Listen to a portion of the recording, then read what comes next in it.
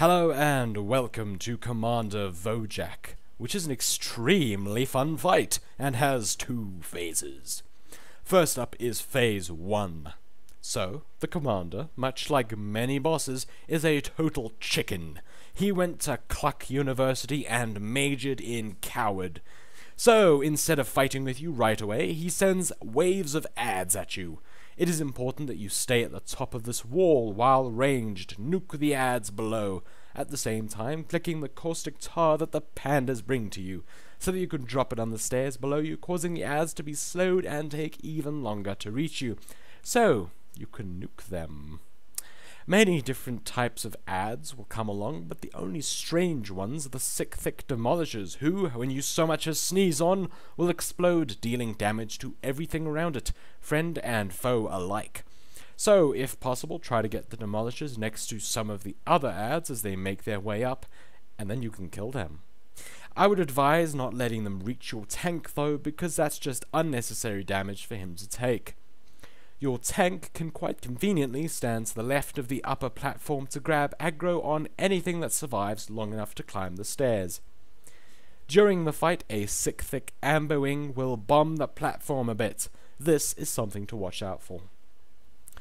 So, after taking out all the waves, Vo'jak will come after you himself, and he has three main abilities.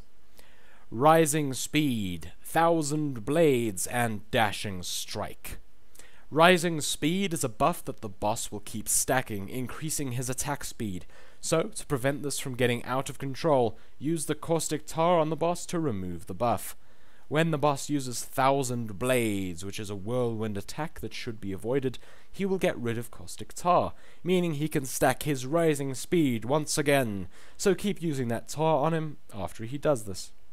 Finally, he will use Dashing Strike, which makes him charge to a random player, hurting everyone in his path and dealing damage to his target. To avoid taking extra damage, say spread out around the boss, and healers watch out for dashing strikes so you can heal the person who gets hit.